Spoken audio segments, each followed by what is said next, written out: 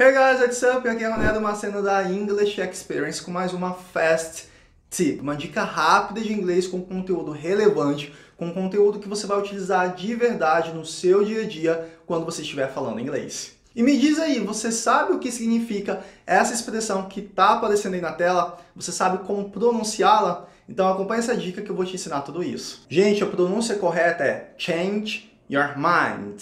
Change your mind do jeito que está vendo aí na tela, tanto escrito em inglês quanto no alfabeto fonético internacional. E ela significa mudar de ideia. Quando você quer falar que alguma coisa ou alguém precisa mudar de ideia, então você usa essa expressão.